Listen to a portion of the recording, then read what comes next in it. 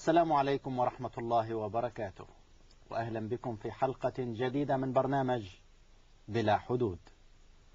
فيما يقترب الثالث من يوليو موعد إجراء الانتخابات البرلمانية الكويتية.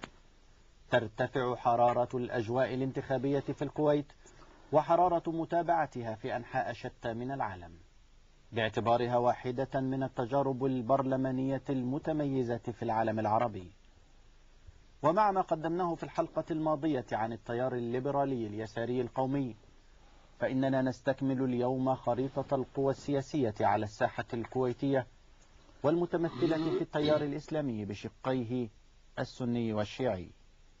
فالإسلاميون الذين بدأت مشاركتهم السياسية في الانتخابات البرلمانية الكويتية للمرة الأولى عام 81 أصبحوا الآن قوة يصعب تجاوزها.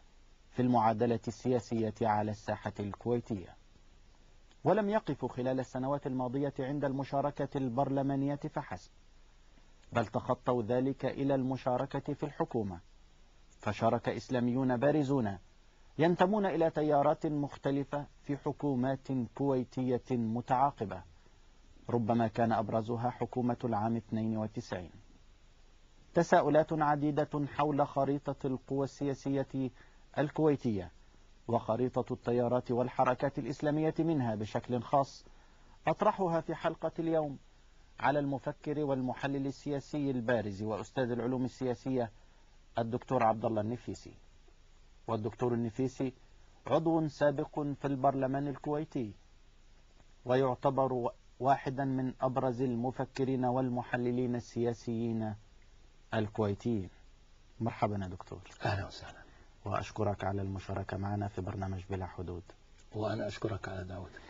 أبدأ معك من الخريطة السياسية العامة. هناك ما يقرب من 400 مرشح تقريبا في الانتخابات البرلمانية الكويتية يتنافسون على 50 مقعدا. ما هي الخريطة التي يتوزع عليها هذا العدد الهائل من المرشحين؟ يعني آه هو فعلا بسم الله الرحمن الرحيم فعلا كانوا 400 وكسور. انسحبوا عدد آه لا بأس به منهم والآن في تقريبا 370 نعم. كويس قريبين يعني. نعم. آه أنا عندي إشكالية مصطلح هنا. آه أنت تتكلم عن القوى السياسية. نعم. آه القوى السياسية مصطلح آه يحمل آه في طياته أكثر مما تتحمله الحالة الكويتية. القوى السياسية هي التكتلات اللي ممكن تؤثر على خيارات النظام السياسي م. واتجاهات النظام السياسي. هذا غير موجود عندنا في الكويت. ليس في الكويت آآ آآ هذه المجموعات أو التكتلات اللي بتؤثر على خيارات النظام السياسي. ما هي الأشكال إذن الموجودة في الكويت أنا بسميها مجموعات سياسية وليست قوى. المجموعات السياسية هي التكتلات بين الأفراد التي ممكن تؤثر على وتحمل مرئيات ومنظورات مغايرة لمنظورات الحكومة وليست النظام. وفرق كبير ترى بين الحكومة والنظام. بإيجاز ما هو الفرق في الكويت بشكل خاص بين الحكومة والنظام؟ ليس هناك في الكويت مجموعة سياسية تختلف مع الأخرى في موضوع النظام والولاء للنظام. نستطيع أن نقول أن كافة القوى الموجودة أو التجمعات السياسية كلها تقبل بالنظام ولا تعارضه؟ هذا ما أشعر به وهذا ما يعني تؤكده وثائق كافة المجموعات السياسية. هذا شكل متفرد أيضا من أشكال العلاقة ما بين القوى السياسية وما بين النظام في أي دولة أو الحكومة في أي دولة من الدول. لا شك. ولذلك الانتقادات في الكويت لا توجه للنظام إنما توجه عادة للحكومة. ولا تطالب بتغيير النظام إنما بتغيير الحكومة. وهذا أمر يعني في شبه إجماع بين الكويتيين عليه. لو رجعنا للخريطة أو للقوى أو نعم. للتجمعات المجموعات ممكن لو استعرضنا البرلمانات منذ 62 إلى برلمان 96 مع وضع الاعتبار للتقطعات وتعرجات في التجربة سنلاحظ أنه في المنبر الديمقراطي نعم. اللي هي آه، ت- ائتلاف بين آه، آه، آه، مجموعات من ال- العلمانيين آه، الذين يؤمنون بفصل الدين عن الدولة. آه، من قوميين وليبراليين و آه، آه، بعض اليساريين السابقين ذو النظرة أو المرئيات الماركسية في عندنا مجموعة السلف في الكويت اللي هي آه، تمثل آه، آه، تكتل بين متدينين في الكويت يتخذون مرجعية دينية ويلتزمون بها وفي عندنا الحركة الدستورية التي هي الواجهة لتنظيم الأخوان المسلمين في الكويت. وهذا بتصور هذه حركة يعني أستطيع أن أعتبرها حزب سياسي وله مكتب التنفيذي وله مجلس شوراه وله هيكلياته الهرمية آه، كأي حزب سياسي. هذا غير متوفر في آه، المنبر الديمقراطي وحركة السلفيين أو التيار السلفي؟ قد يكون متوفر في المنبر الديمقراطي لكن السلف يرفضون اعتبارهم حزب سياسي وهم بالفعل ليسوا بحزب سياسي. السلف مجموعة متدينة من الأفراد آه، عندها مرجعية دينية و و و وتلتصق بهذه المرجعية الدينية. وتحاكم آه، آه، وتحاكي مواقفها. وفق الفتاوى ال- ال- المفتي هو الوتد في السلف بينما عند الأخوان لا مش المفتي. المكتب التنفيذي الأمير بتاع الأخوان ال- ال- المجلس الشورى يعني حزب سياسي لو تجاوزنا. المنبر الديمقراطي على اعتبار أن الحلقة الماضية خصصت له وكان طبعا بالإضافة إلى ذلك عفوا عن المقاطعة يا أحمد بالإضافة إلى هالثلاثة نعم الحركة الدستورية والسلف والمنبر الديمقراطي في القطاع الأعرض عاد في المجالس السابقة اللي هو قطاع البادية القبائل مم. هذه أيضا بتشكل آه، مجموعات ذات أثر كبير في تاريخ التجربة النيابية. لكن. هذه المجموعات أو مجموعات البادية أو المناطق الخارجية كما تسمى في الكويت هل هم منظمين؟ آه، تنظيم نستطيع أن نقول أنه تنظيم سياسي أم أن تجمعهم تجمع اجتماعي قبلي أكثر منه سياسي تنظيمي؟ آه، من الخطأ أن إحنا آه، ننظر إلى البادية بمنظار الخمسينيات. ثمة حراك سياسي وتطور فكري في البادية آه، نشط. وأثبتوا آه، خلال السنوات الأخيرة اللي تلت الغزو العراقي بأن عندهم يعني حاسة سياسية وعندهم مقدرة فائقة على الاستدعاء السياسي والحشد السياسي والالتزام السياسي بمواثيقهم مع بعضهم البعض. لا بل صفقاتهم الانتخابية وتحركاتهم فيما بينهم تدل على أنه آه، آه، هذه قوى واعدة لكن على أي. على أي اتجاه فكري أو تنظيمي يمكن أن تضع البادية. الآن أنت عندك ال- المنبر الديمقراطي قائم على فكر وإن كان مجموعات مختلفة. السلف قائمين على فكر الإخوان قائمين على فكر.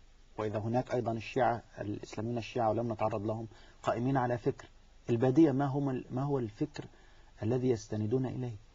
آه، نقطة القوة في البادية هم أنهم ما يستندون على برامج يابسة وثابتة. ولذلك بيتمتعوا بمرونة الموقف وتحقيق المصالح العامة لهم أكثر من باقي ال- الأطياف ال- السياسية. ال- ال- بالعكس أنا شايف أنه العمل السياسي اليوم أحمد في العالم أصبح يتجه نحو نظرية التيار السياسي وليس نظرية الحزب. نظرية الحزب نظرية تقليدية وتقليدية وبائدة اللي هي آه، ضرورة وضع برنامج شامل للمجتمع ووضع أهداف استراتيجية شاملة له.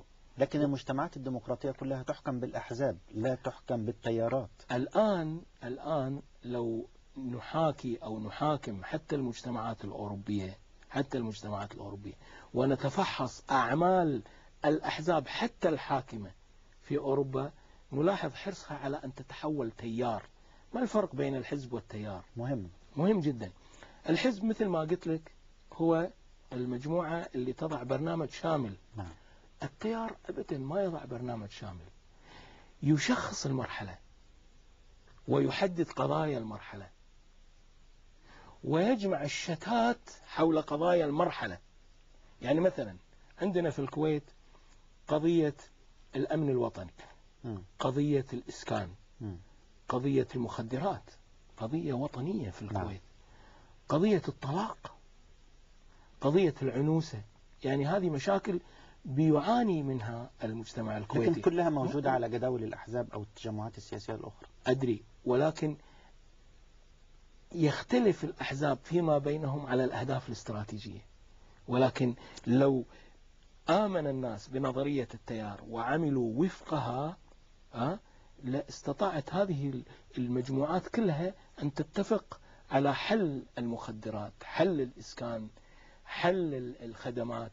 يعني القصد من الموضوع إنه- اسمح لي هنا قبل ما أتجاوز التيار هل هناك أنظمة سياسية موجودة في العالم الآن تعتمد على نظام التيار الذي تشير إلى أنه النظام المستقبلي في في ال- في الفترة القادمة؟ وسينقرض نظام الحزب كما أفهم من كلامك. لا الآن في في مدرسة جديدة في فرنسا تؤكد يعني فرنسا هي مبدعة الأزياء. صح ولا لا؟ نعم. ومبدعة حتى الفلسفات كذلك. السياسة. نعم. في السياسة يعني مثلما أن الأزياء تتبدل وفق الفصول آه، آه، آه، يحرص الفرنسيون أيضا بتطوير فكرهم السياسي. ولذلك طرحوا فكرة التيار. يعني يعني الحزب الشيوعي الفرنسي آه، الآن يطبق نظرية التيار ولا يطبق نظرية الحزب بدليل أن مارشيه وجماعته الآن دخلوا في في أحزاب كثيرة. يعني تبقى تبقى برضه دكتور عفوا التجربة غربية لكن أنا الآن أريد أفهم في إطار المجتمع الكويتي وقضية التيار وقضية البدو أو مجتمع البادية الذي يؤثر بنسبة عالية في صناعة القرار وحتى في التواجد في البرلمان. نستطيع أن نقول أن نسبتهم كم؟ هؤلاء الذين أشرت إليهم الآن. البادية؟ نعم. كل المجموعات السياسية الحركة الدستورية والسلف والمنبر الديمقراطي لم يتجاوزوا في وقت من الأوقات ثلث البرلمان. لم يتجاوزوا. والثلثين. والثلثين كانت من البادية. حتى آه، مؤيدي الحكومة والتجار وغيرهم نعم، من نعم. التيارات والقوى السياسية الأخرى التي تندرج تحت باقي مكونات البرلمان الكويتي؟ نعم. كلهم ينتموا إلى مجتمع البادية؟ لا لا لا لا. أنا لا أقصد بهذا. أنا أقصد أن البادية كانت دائما تشكل الأغلبية في البرلمان الكويتي وانت هنا تقصد بالبادية التجمع القبلي يعني أنت الآن تعيش في ال- تعيش في قلب المدينة في الكويت ومع ذلك أنت مطير مثلا تنتمي إلى قبيلة أو أو إلى مجتمع بادية في الأصل يعني. لا كل الكويتيين في, في الأساس آه، في الأساس يعني ينتمون إلى قبائل. ولكن ولكن ال ال ال لما أتكلم عن البادية أنا أقصد المجموعات التي دخلت البرلمان منذ 62 إلى الآن. حتى آه، 96 ثلثي البرلمان كان دائما من البادية. يعني هم يشكلون الأغلبية ويتوزعون على التيارات السياسية نعم. المختلفة. نعم. آه لو أبقى في إطار الآن القوى السياسية التي هي محور حلقة اليوم. نعم. عندي السلف عندي الحركة الدستورية. التيار الشيعي لم تتعرض له. التيار الشيعي في الكويت آه، آه، آه، نستطيع أن نقول بأنه ما قبل الثورة الإيرانية كان شكل وبعد الثورة ال- الإيرانية أصبح بشكل آخر. ما هما الشكلين؟ ال- التيار الشيعي قبل الثورة الإسلامية في إيران كان تيار محافظ ديني تقليدي هياب آه، آه، آه، غير مقدام في طروحات السياسية. أما بعد أن حصل ما حصل في إيران وأعلنت الدولة أنها ملتزمة بالمذهب الجعفري يعني أصبح ال- التيار الشيعي في الكويت يجد سند معنوي قوي في أن يجهر بمكنوناته السياسية ولذلك نلاحظ أن الشيعة بعد الثورة الإسلامية في إيران أصبح لهم يعني تواجد آه، آه، آه، في جسارة سياسية أكثر من السابق شكل هذا التواجد إيه؟ طبعا شكل هذا التواجد إما في مجلس الأمة كنواب في فترة من الفترات كان في الجمعية الثقافية اللي هي بواجهة من واجهات وأعتقد لا زالت إلى الآن لا الجمعية الثقافية حلت م. كما حل نادي الاستقلال م. وهذا شيء يؤسف له م. أنا بعتقد بأن من حق الشيعة أن يكون لهم واجهتهم ومن حق المنبر الديمقراطي أن أن يكون له واجهته كما هو حق الحركة الدستورية في أن تكون جمعية الإصلاح واجهة له يعني يعني لكل آه، آه، آه، مجموعة من هذه المجاميع يجب أن تكون له واجهته اسمح لي هنا أنا عندي إشكالية عايزين نفهمها. الدولة في الكويت لا تسمح بالأحزاب ومع ذلك فكل هذه القوى تحت هذه اللافتات المرشحون يعلنون أنفسهم يتواجدون في البرلمان تحت هذه القوى حتى حينما مثلوا في الحكومة مثلوا أيضا كممثلين لهذه القوى. نريد أن نفهم هذا الإشكال كيف تحظر الحكومة الكويتية العمل الحزبي ومع ذلك تسمح به وتتعامل مع الحزبيين هنا يجرنا الحديث أخي أحمد إلى آه، الورطة الجغرافية اللي تتورط فيها الكويت. الكويت في مثلث جغرافي خطير. أضلاع العراق والسعودية وإيران. ومحشورة الكويت اللي مساحتها لا تتعدى 17 ألف كيلومتر مربع محشورة في هذا المثلث. وهناك زخم تاريخي من العراق إلى الكويت من السعودية إلى الكويت من إيران إلى الكويت. لا بل إن التركيبة السكانية الكويتية لو بتتفحصها بشيء من الدراسة ستجد أن أصولها تمتد يا إما إلى العراق يا إما إلى إيران يا إما إلى السعودية. نعم. وفق هال هالمناشئ المختلفة للكويتيين ووفق المصلحة أيضا الدولية متمثلة بالإرادة البريطانية حتى سنة 61 مم. كان ضروري أن يكون في انفراج داخلي في الكويت وبالتالي أنا بعتقد أنه ما نراه اليوم في الكويت من تجربة نيابية لم يأتي نتيجة لتوازن اجتماعي أو طبقي. أو خيار كويتي محض. إزاء هذه التجربة أبدا أنا بعتقد وليد هذه التشكيلة من الظروف الزمانية بس والمكانية. الظروف ديت ربما أيضا تناسب بعض الدول الخليجية الأخرى لا سيما الدول الصغيرة البحرين قطر الإمارات عمان. ربما نفس التركيبة التي تشير لها نفس التواجد البريطاني اللي كان خرج من الكويت في 61 حتى تأخر خروجه من هذه الدول إلى بداية السبعينيات. لماذا أيضا سعى إلى أن تكون هناك تجربة برلمانية سياسية مفتوحة في الكويت ولم يسعى إلى أن تكون هذه التجربة موجودة في باقي دول الخليج الأخرى لا هو سعى ولكن كانت الحالة في الكويت أكثر إلحاحا. يعني التجربة النيابية في الكويت جاءت بضغط بريطاني مو فقط بضغط داخلي منذ بداية الاستقلال في 62 قبل. يعني هناك كان في في عدن كان في قاعدة عسكرية بريطانية وأهل اليمن أهل الجنوب ثاروا في وجه البريطانيين. وقادوا في جبال ردفان ثورة مسلحة ضد بريطانيا نعم. وهددوا بأنهم سيزحفون آه،. بالجبهة الشعبية للخليج العربي المحتل إلى الكويت نعم ولذلك الإنجليز آه، طبعا خبرتهم في المنطقة غير خبرة الأمريكان نعم. يعني أنا بتصور الإنجليز هم أهل الخبرة في الخليج وليس الأمريكان الإنجليز دائما آه، يسرعوا في حل المواضيع وحل الإشكالات آه، ولذلك آه، مرنين ذهبوا إلى الكويت وذهبوا إلى الأسر الحاكمة في الخليج كلها مم. وقالوا لابد أن إحنا نبتكر طريقة أخرى للحفاظ على مصالحنا ها مم. مع الحفاظ على المطالب الشعبية. على أن تكون العملية محكومة استراتيجيا. وجاء إلى الكويت سنة 59 وسنة 60 وسنة 61 المبعوث البريطاني ويليام لوس. وتكلم مع الأمير الراحل عبد الله السالم وألح عليه بضرورة الشروع بالتجربة النيابية. وكان هناك وفد حتى من الأسرة الحاكمة يعارض هذا التوجه. فصرفهم عبد الله آه، ملبيا المطلب البريطاني وفي نفس الوقت ملبيا للمطالب الداخلية للكويتيين بضرورة الشروع بتجربة نيابية. إحنا كده آه، نستطيع أن نقول إن إحنا آه، استطعنا أن نفهم التجربة الخاصة في الكويت ولما الكويت بشكل خاص دون باقي دول الخليج. يعني سؤالي الهام عن العلاقة ما بين التيارات الإسلامية التي أشرت إليها؟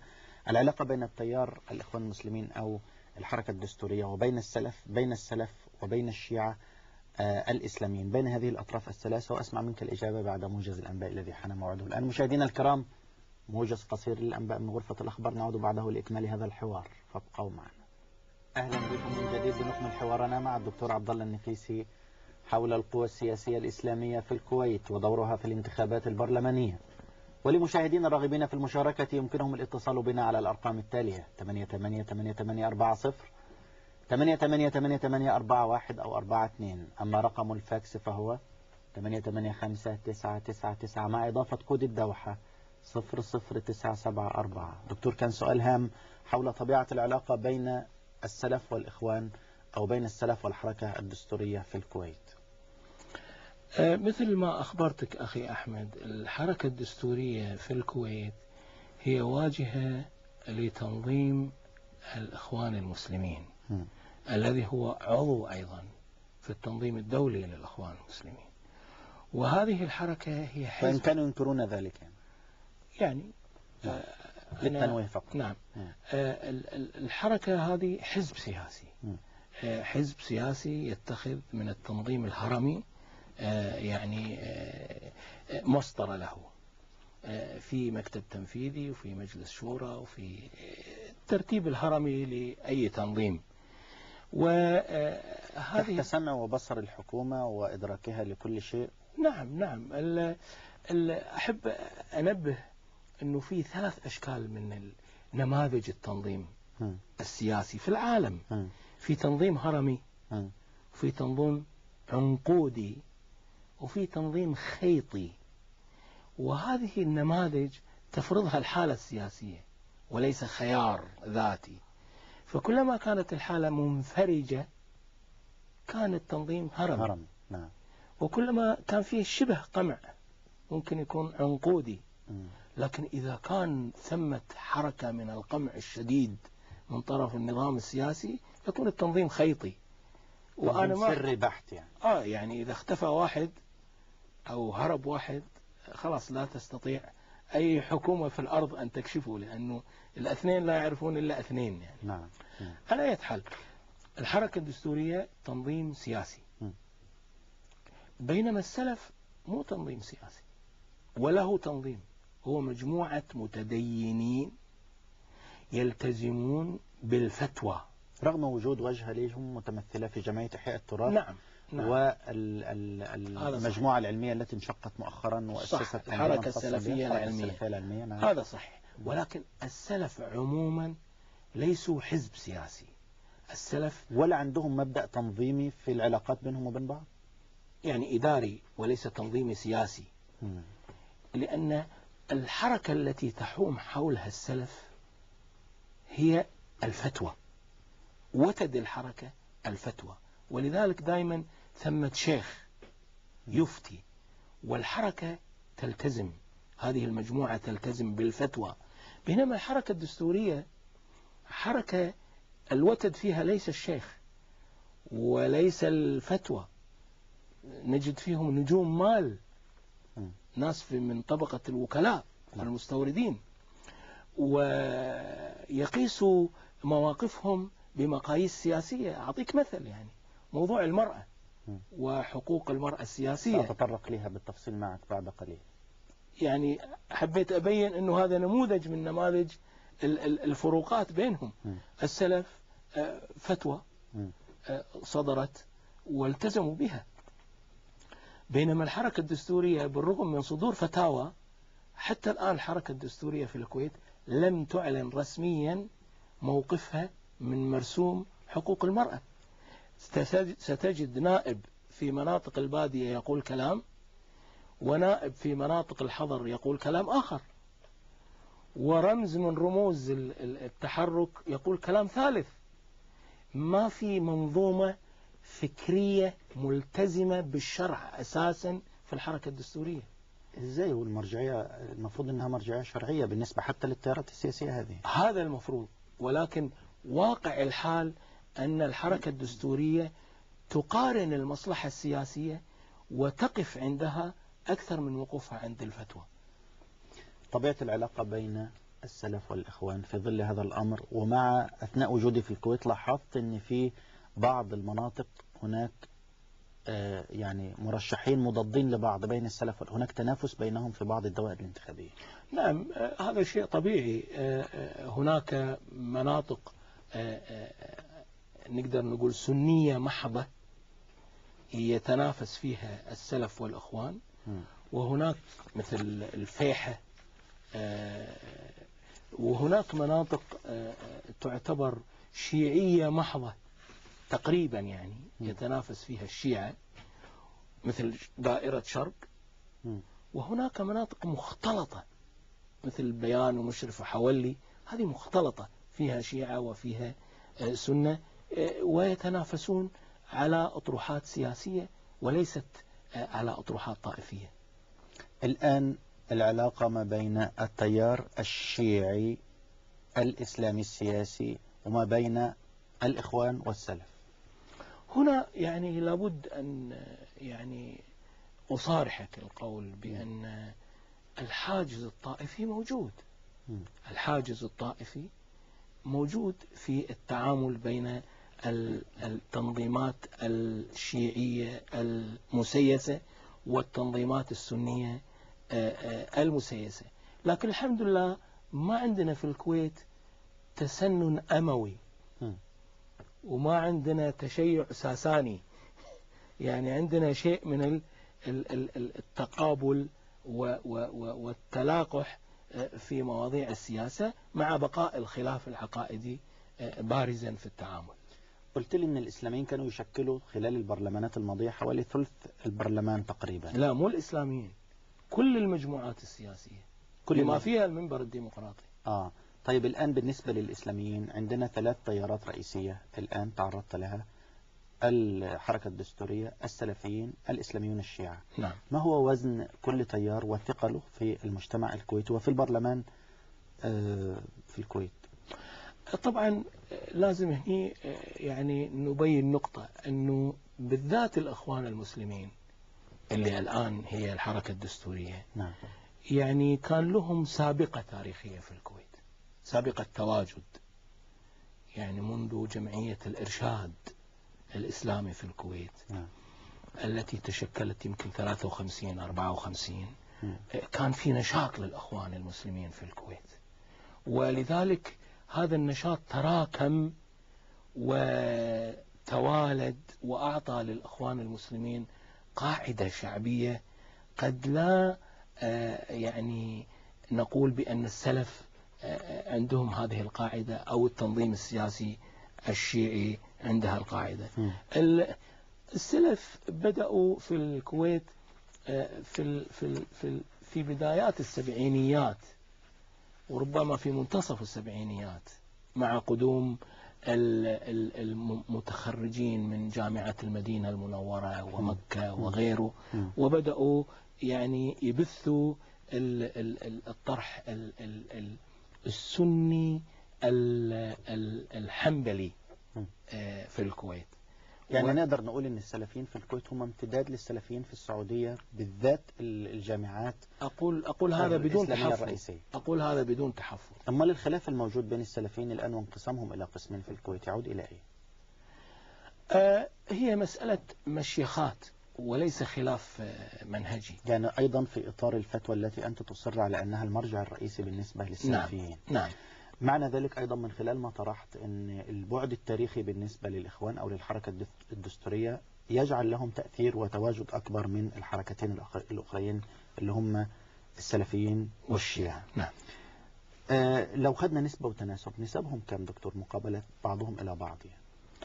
لا يعني الأخوان المسلمين آه، يعني قاعدتهم التنظيمية والاجتماعية أعرض بكثير من ال من ال السلفيين آه، و- و- و- وعندهم مقدرة على ال- مناورة المناورة ومقدرة على ال ال ال ال ال- ال- الطفو فوق عالم السياسة أكثر من السلفيين.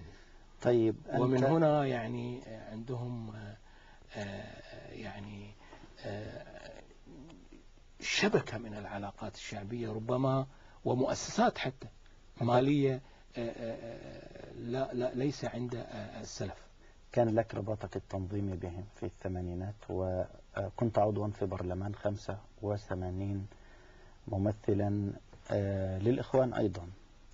لو طلبت منك بإيجاز أن تتحدث عن تجربتك البرلمانية 85 في البرلمان الذي تم حله في تيات في الثالث من يوليو عام 86 بإيجاز. نعم. كعضو إسلامي سابق في البرلمان. آه، أكبر درس آه، عرفته يتلخص بالنقاط التالية. أن النجاح في الانتخابات شيء والنجاح داخل مجلس الأمة شيء آخر. كيف؟ يعني من السهولة أنك تخاطب الجمهور ومن السهولة أن تحصل على ثقة الجمهور ومن السهولة أن آه، آه، تحرك الجمهور. لكن آه، لا تنتهي المسائل عند هذا ال- ال- ال- ال- الحال. أو عند هذا الحاجز. عندما تدخل إلى مجلس الأمة لن تتعامل مع الجمهور. ستتعامل مع طرفين. الحكومة اللي بيدها السيف والمنسف الثروة والنفوذ ها؟ وستتعامل مع نواب من شتى الأطياف السياسية. النجاح يقاس هنا وليس في الانتخابات. هاي نقطة. النقطة الثانية اللي أدركتها أنه هذه مؤسسة آه، من المعيب أنه الواحد يربط حياته فيها لأنها أصبحت مثل الدكانة. تقصد البرلمان هنا؟ آه نعم. بهذا الشكل؟ نعم. لما أصبح مثل الدكانة. في قسوة في الحكم شديدة دكتور؟ لا أبدا. آه، إحنا إحنا بدأنا تجربتنا النيابية في الكويت 62 نعم. الآن إحنا سنة 99 62 بدأنا 67 في تزوير انتخابات. تزوير. بيحصل في كل الدول العربية. لا تزوير جاء ضباط الداخلية ويشيلون الصناديق أمام الناس وذهبوا لفرسة في الخارج وعادوا حتى الذين نجحوا في انتخابات 67 عدد كبير منهم رفضوا هذا. القصد من كلامي أنه هذه المؤسسة ليس لها طبيعة الاستمرارية. أغلقت سنة 76 بحل غير دستوري. نعم. وأغلقت سنة 86 بحل غير دستوري. نعم. وأغلقت سنة 96 محل دستور عفوا ب ب- ب 99 مم. بحل دستوري. نعم. ولكن لظروف دولية وليس لخيار داخلي.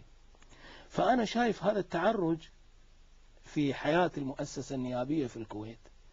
يجعل أن الواحد يعني يخاطر في في في حياته وفي آه، طاقته بأنه يجتهد لينجح ويضع البرامج ثم بعد ذلك تأتي الحكومة وتغلق هذه المؤسسة آه، لأسباب خاصة بها لا علاقة لها بأداء ال- ال- ال- ال- المجلس. دكتور أنت كده يعني بتظهر إن التجربة البرلمانية الكويتية كلها يعني كأنها لا قيمة لها. لا أبدا. أنا لم أقل ذلك. أنت تسألني عن تجربتي الشخصية. تجربتك الشخصية في الإطار العام أيضا وكأن الآخرين آه، يعني يضيعون أوقاتهم يعني أنا أنا أضيع وقتي. بالنسبة أنا- لك أنت شخصيا. نعم.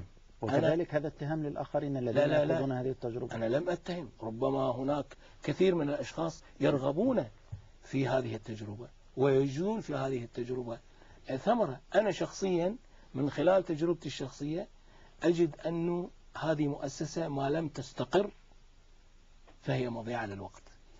طيب. لأنها دكانة تقفلها الحكومة متى شاءت وتفتحها متى شاءت. أنت قلت لي كلام يعتبر كلام خطير قبل الموجز وهو عن أن التجربة البرلمانية أو الديمقراطية في الكويت هي جاءت بتأثير بريطاني بالدرجة الأولى ولم تأتي كإلحاح داخلي أو مطلب داخلي. لا في إلحاح داخلي ولكن ليس هو هذا الفاصل في الأمر.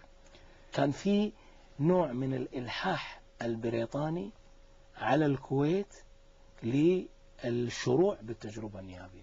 وهذه وثائق وزارة الخارجية البريطانية كلها موجودة الآن في لندن في Public Record Office مركز ألو... مكتب الوثائق البريطانية يعضد هذا ال... الآن الولايات المتحدة تكاد تطلب من دول الخليج نفس المطلب البريطاني والدول التي لا تقيم ديمقراطيات على أن تنهج النهج الديمقراطي وتبدأ تغير من الأشكال الموجودة فيها. أليست الديمقراطية بالشكل الغربي تعتبر سلاح ذو حدين يمكن أن لا يخدم مصالح هذه الدول التي تلح على تواجد الديمقراطية في تلك المناطق؟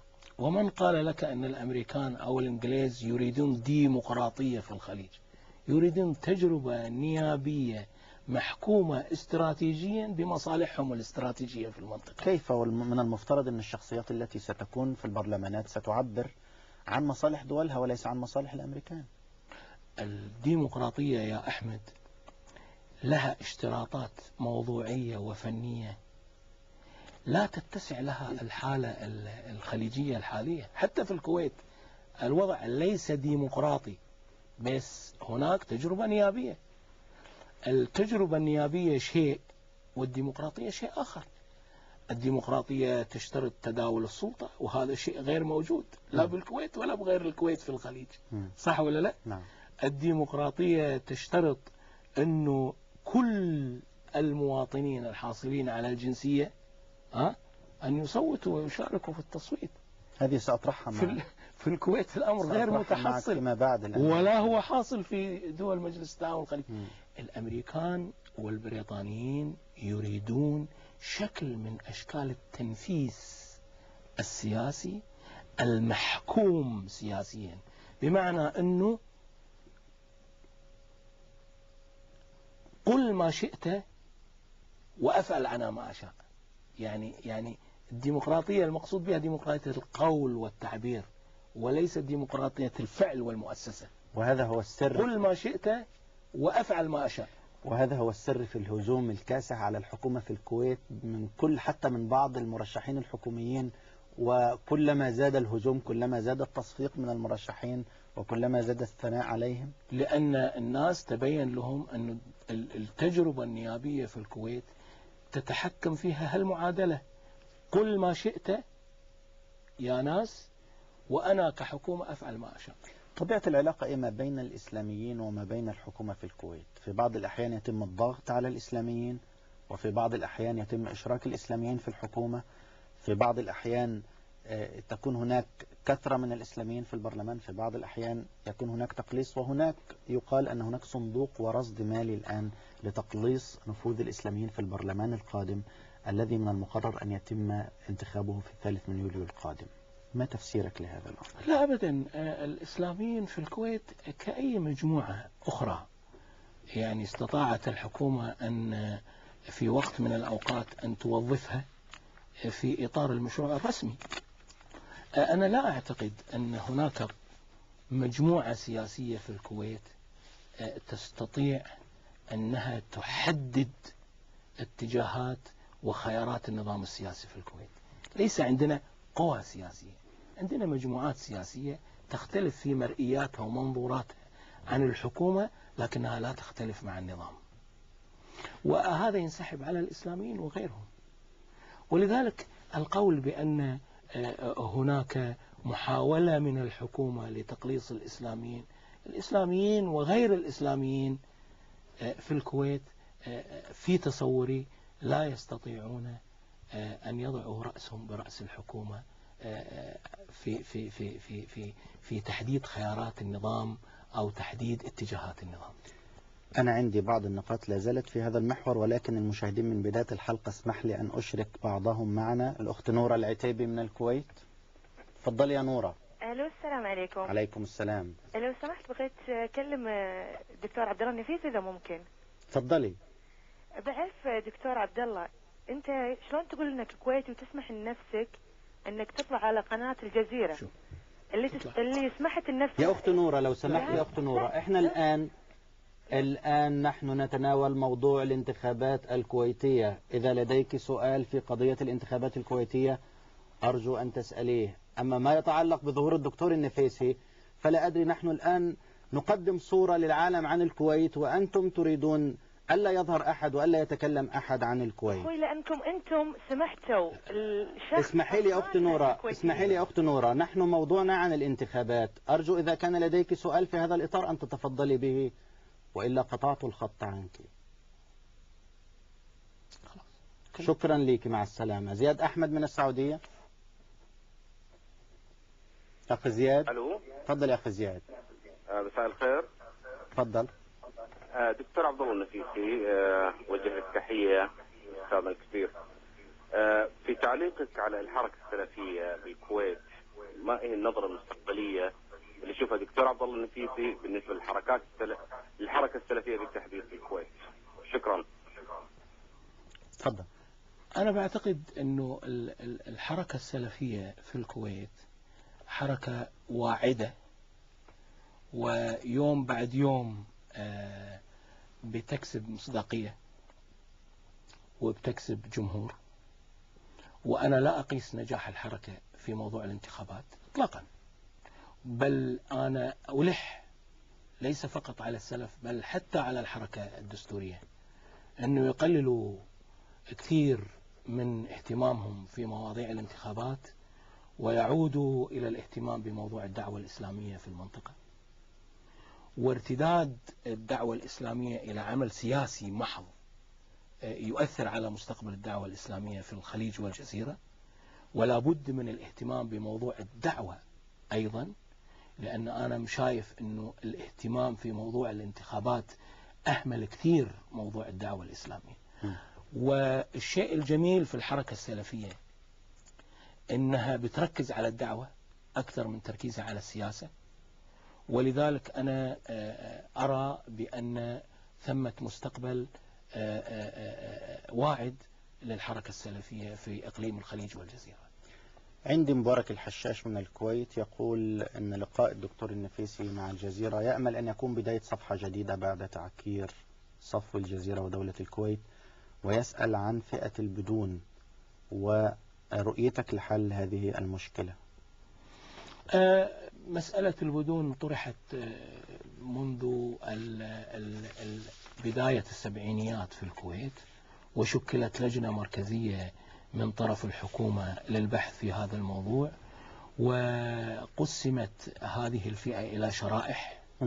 اللي وجدوا في الكويت قبل التاريخ الفلاني وبعد التاريخ الفلاني وفي آه، ما أعلم والله أعلم أنه مجموعة منهم تم تجنيسهم وأنا آه، من من زاوية إسلامية أقول بأنه لابد من تجنيس الباقين والاستعجال في ذلك. دكتور في يعني مع كلامك عن الإسلاميين والعلاقة بين الإسلاميين والحكومة من الملاحظ في الفترة الأخيرة وجود توتر أو نبرة عالية للتوتر بين الإسلاميين والحكومة؟ إلى ما ترجع هذا التوتر الذي حدث مؤخرا والذي وصل إلى حد أن الحكومة تريد أن تصدر بعض القوانين التي تحد من النشاط الخيري على وجه الخصوص ونشاط الجمعيات الإسلامية آه، آه، هناك إلحاح أمريكي آه، على أقليم الخليج والجزيرة وعلى دول مجلس التعاون الخليجي بأنه لا أظن أن هذا الإلحاح مبرر أن كثير من الأموال التي تخرج من إقليم الخليج والجزيرة تمول حركات بعضها إسلامية صرفة. وتتسرب بعض هذه الأموال إلى بعض التنظيمات ال- التي تسميها الإدارة الأمريكية بالتنظيمات الإرهابية. نعم. آه، من هذا الباب نشطت الإدارة الأمريكية بتنبيه دول مجلس التعاون الخليجي بتجفيف الأموال هذه آه، من من محفظة ال- ال- التنظيمات الإسلامية. آه، من هذا الباب في تصوري تتحرك ليس فقط الحكومة الكويتية بل حكومات أخرى لا أود أن أذكرها هنا آه، في في قناة الجزيرة حتى لا تتوتر العلاقات بين الجزيرة وهذه الحكومات. كفاية علينا. كفاية عليكم. آه، من هذا الباب أنا أقول آه، ثمة تحركات رسمية في الكويت وفق هذا ال- ال- ال- الخط لضبط ال- العمل الخيري وفق آه، آه، يعني منظورات حكومية أكثر منها منظورات شعبية. مع أنه العمل الخيري الكويتي اللي بتقوم به المجموعات الإسلامية سواء حركة دستورية أو سلف أو غيرها من أفراد أنا بتصور عنوان شرف للكويت وللخليج. معنى ذلك أن الضغط سيأتي وسيتم التقليص فعلا طالما أنه مطلب أمريكي أنا أتصور أنه الأمريكان آه، حريصين اليوم على شيئين في الخليج. آه، تفكيك الحالة الإسلامية في الجزيرة العربية. تفكيكها تماما يعني. والشيء الثاني إعادة صياغة للمجتمعات الخليجية والجزيرة لأن الأمريكان جايين هني وناوين يمكثون. ومكثهم هذا مقدمة لمجيء الإسرائيليين وغيرهم إلى المنطقة. وهذه الحالة الإسلامية هي المعيق الأساسي للأمريكان وغيرهم. ولذلك ثمة استراتيجية أمريكية بضرورة تفكيك هذه الحالة الإسلامية سواء مثلت بالحركة الدستورية أو السلف أو غيرها من التنظيمات الإسلامية. ولذلك أنا شايف يعني في بحر السنوات القادمة هذه سوف تضيق الدائرة على كافة الإسلاميين. بشتى رأياتهم ومسمياتهم في إقليم الخليج والجزيرة. كلام خطير يا دكتور. غسان شلهوب من ساحل العاج. تفضل يا غسان. ألو؟ حياك الله. تفضل يا سيدي عليكم. السلام. أنا لبناني وشيعي من جنوب لبنان. حياك الله يا سيدي. من بلدة قانا بالضبط. أهلا بيك. هذه أول مرة آه، أسمع كلام آه، واضح يفسر عن آه، حرية نوعا ما من الحرية لجميع التيارات الإسلامية أو غير الإسلامية في دولة عربية بالخليج العربي. وهذا شيء جيد. نعم. نتمنى أن يعم جميع الخليج العربي وكل الدول العربية عامة نوعا ما من الديمقراطية مهما كانت التيارات وصح كلام الدكتور كثير منطقي بطريقته لشرح الموضوع عن الانتخابات الكويتية. ويشكر على هذا الموضوع. شكرا لك. هل لديك سؤال يا غسان؟ لديك سؤال؟ أنا لي شكر لكم على هذا آه، الموضوع ككل لأنه يوضح أشياء أنا لا أعلمها عن الكويت. اليوم تعلمتها. كشيعي بالدول العربية إجمالا نعتبر مضطهدين. واليوم أسمع أنه في الكويت تيار شيعي باستطاعته أن يتكلم. نحن مسلمين ككل المسلمين. ولقد أبرزنا هذا في لبنان في جنوب لبنان وخاصة في وجه العدو الإسرائيلي اللي هو عدو جميع العرب والإسلاميين ككل. ليس لبنان لوحده أو سوريا أو فلسطين. شكرا لك يا غسان وأود أن أزيدك أيضا بأنه كان من المقرر أن يكون ضيفنا للأسبوع القادم أحد ممثلي التيار الإسلامي الشيعي في الكويت ولكنه للأسف اعتذر متضامنا مع الموجة التي تشن ضد الجزيرة. يعسوب الأحناف من الولايات المتحدة الأمريكية. تفضل يا يعسوب. السلام عليكم. عليكم السلام ورحمة الله. أه، أولا قبل الحديث أحيي قناة الجزيرة وأشكر جزيل الشكر إلى الأستاذ أحمد منصور. حياك الله ولا سيما استضافته الباحث الضليع الدكتور عبد الله النبيتي حياك الله حيث حيث إن عبد الله النبيتي باحث موضوعي يقرأ قراءة النص قراءة صحيحة وله بحوثات قيمة منها دور الشيعة في تكوين الدولة الحديثه بالعراق. وداخلت هنا نص قراءة في نص امرأة تقول المفكرة الإسلامية العراقية الشهيدة آمنة بنت الهدى سيد يعسوب سيد يعسوب نعم. نحن نتكلم نعم. عن الانتخابات الكويتية. أرجو إذا كان سؤالك في إطار أرجو إذا كان سؤالك في...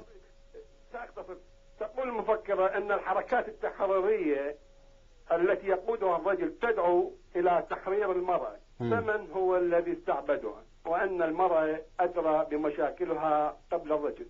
التساؤل كيف تقرأ الحركات التحضيرية أو التيارات الإسلامية؟ هذا النص. وشكرا. أشكرك. شكرا جزيلا. وهذا دكتور يدفعنا إلى فتح ملف المرأة الكويتية وموقف الحركات الإسلامية من المرسوم بقانون الذي أصدره أمير الكويت فيما يتعلق بمنح المرأة الكويتية الحق في الترشيح والانتخاب ابتداء من آه، آه، الانتخابات البرلمانية القادمة. الحركات الإسلامية على اختلاف توجهها في الكويت تقف موقف الرفض ما عدا الشيعة الذين يطالبون منذ مدة بمنح المرأة حقها السياسي. أسباب رفض الإسلاميين إيه لمشاركة المرأة في الانتخابات البرلمانية؟ آه، لا هذه مسألة تحتاج إلى آه، توضيح أخي أحمد. تفضل. ال- ال- ال- ال- المجموعة الإسلامية الوحيدة التي أعلنت موقفها إزاء المرسوم فيما يتعلق بحقوق المرأة السياسية هي مجموعة السلف. السلف لأنهم يلتزمون بالفتوى آه، التزموا بالفتوى القائلة بحرمة آه، آه، آه، مشاركة المرأة انتخابا وتشريعا. السلف بس. الحركة الدستورية الإسلامية حتى الآن اللي هي واجهة لتنظيم الإخوان المسلمين حتى الآن لم تعلن موقفها رسميا وببيان رسمي من الحركة إزاء هذا المرسوم. وهذا أكبر دليل على أن هذه الحركة لا تنتظمها منظومة فكرية واحدة تحسم الموقف. فنائب في البادية يقول كلام ونائب في الحضر يقول كلام آخر ونائب آخر صامت حتى الآن لم يقل كلمة لا مع ولا ضد و و و و ورئيس جمعية الإصلاح الكويتي قال كلاما في الإذاعة ثم أخذ يفسره ويفسره ويفسره حتى أضاع معناه. آه، آه، فالحركة الدستورية حتى الآن لم تعلن موقفها. طالما ناس سياسيين. طالما ناس سياسية ولذلك أنا أقول الحركة الدستورية هذه آه، تنظيم سياسي ليس ملتزم بالفتوى. الإسلامية بقدر ما هو ملتزم بالمصالح السياسية أنا عندي هل معايا يعيب هذا دكتور طبعا طبعا يعني واحد يرفع راية الدعوة الإسلامية يلتزم بالفتوى يعني إحنا عندنا في الكويت جهتين إدارة الفتوى في وزارة الأوقاف وعندي الفتوى هني نص الفتوى. بأنها لا تجيز لا تجيز لا انتخاب ولا ترشيح المرأة لكن هذه هذه أيضا قضية. خلافية. أدري. نعم دقيقة واحدة هاي إدارة الفتوى وعندنا جهة أخرى اللي هي اللجنة العليا اللي يرأسها الدكتور خالد المذكور. أيضا فيها فتاوى تقول بأنها لا تجيز. المفروض آه، آه، واحد يرفع الدعوة الإسلامية يلتزم بالفتوى. أنا شايف أنه السلف أكثر التزاما بمقتضيات الموقف الإسلامي من الحركة الدستورية. أما الشيعة فلهم موقف آخر في الموضوع لأسباب يجب أن نحن نعرفها. ما هي؟ ما هي؟ يعني لو تذهب إلى الجمهورية الإسلامية في إيران ستجد أن المرأة يعني منتشرة في كل آه، التراتب الإداري في الحكومة. عندك؟ لأن طبيعة المجتمع الإيراني أن لا. لها النفوذ والسطوة حتى داخل لا البيت. ليس هذا. معصومة ابتكار نائبة خاتمي نعم. فائزة رفسنجاني نائبة في ال- برلمان. البرلمان وغيرها وغيرها. سبب وحيد يخلينا نحيي هالتجربة إنه هذه تجربة لها مرجعيتها الإسلامية. وملتزمة بهذه المرجعية.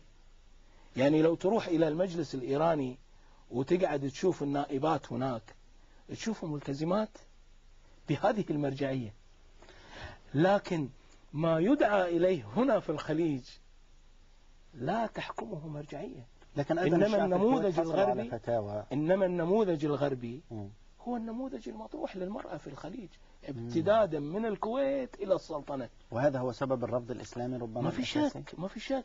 يعني لو كان ثمة مرجعية يلتزم بها المجتمع السني العربي ها في الضفة الغربية من الخليج لو كان في مرجع هو مرجعية إسلامية يلتزم بها هذا المجتمع إحنا كنا نحيي ال- ال- الموضوع. لكن ليس ثمة مرجعية عند السنة العرب بينما موجودة هذه المرجعية عند الشيعة. نعم. ولذلك